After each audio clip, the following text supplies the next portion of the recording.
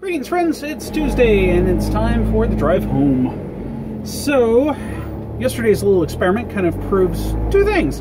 One, I can use a headset, and uh, it kind of makes all of the audio like just me, which I guess is kind of good. Uh, you don't get any background noise, you don't get any engine noise, you don't get anything, which might be great if the weather is nice enough and I want to drop the top, as it were, and drive with the top down and the windows down and everything like that and that might be great. Um, however, it also sounds like I'm on a phone, which makes sense. I'm on a phone, but it's um, it's not quite the same quality. It's you know, it just just doesn't sound very good. So I don't know. You let me know. Which one do you prefer? Um, right now I'm going Sans headset because all this time I've been recording off of the phone's internal microphone unknowingly and uh, that was working. I mean, you can still hear me pretty good. It picks me up really nice.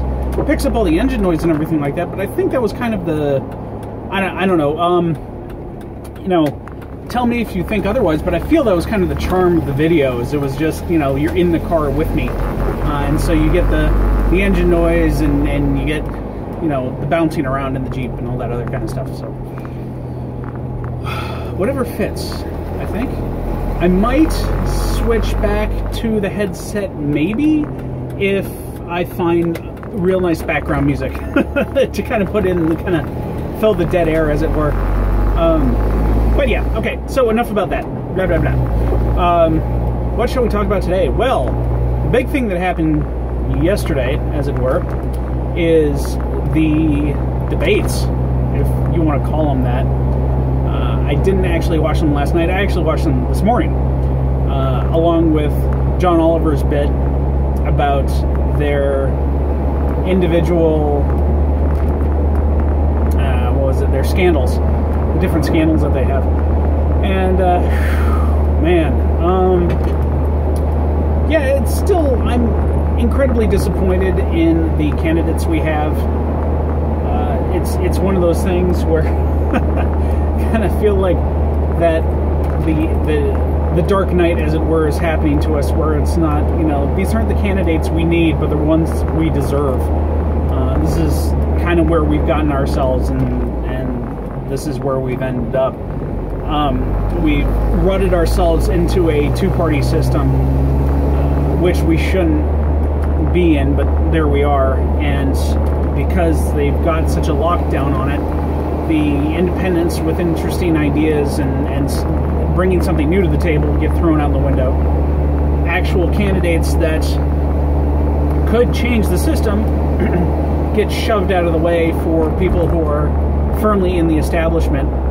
You could say, I mean, you could say that Trump was somebody out of left field who was shaking up the system, but honestly, I don't. He's such a goober that it's just. I'm not even sure how he got in in the first place it was just one of those things where I almost honestly feel like there were so many people going, well, we'll do this for a laugh. And then it went as far as it did, and we're like, oh, oh shit, it's it's too late to call it a joke. Um, and now we've got Pence as the VP, or whatever, running for VP, and uh, he's not much better.